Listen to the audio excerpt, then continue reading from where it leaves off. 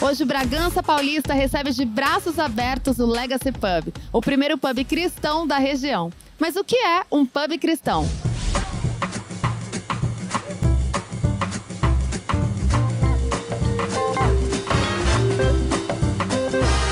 Dia de inauguração